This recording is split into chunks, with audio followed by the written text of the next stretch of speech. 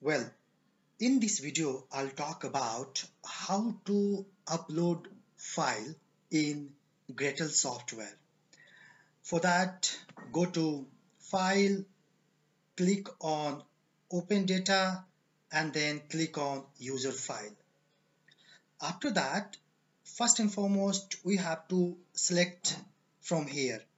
Like uh, these are the options you can select as per your suitability. Like uh, if you have uh, data or you can say any file in eViews then click on eViews.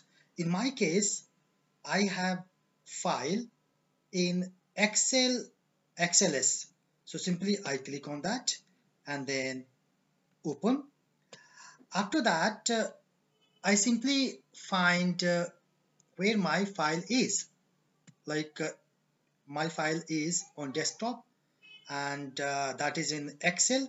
So the name of the file is mint. So I click on mint and then click on open. It asks do you want to start from column 1 and row 1 then okay.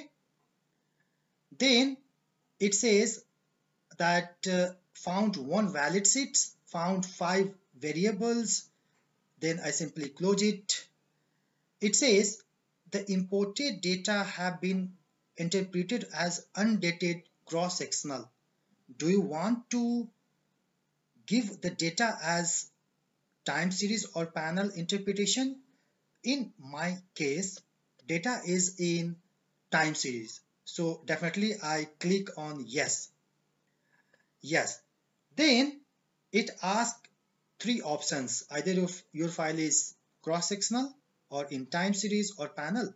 So now my data is time series so simply click on time series and then forward. After that it asks so many options.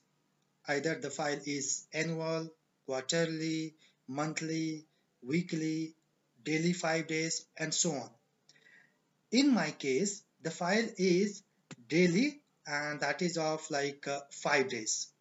So I click on daily five days and then forward then it asks in your file your data starts date.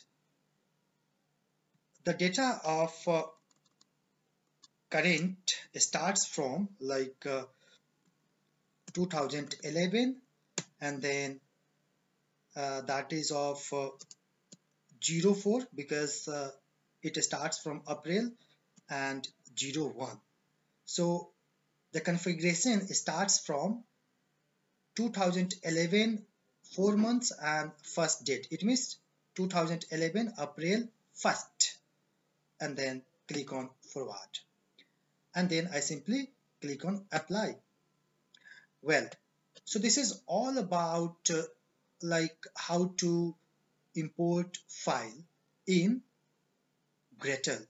If you click on Maxco file, you find date as well as the stock price of Maxco.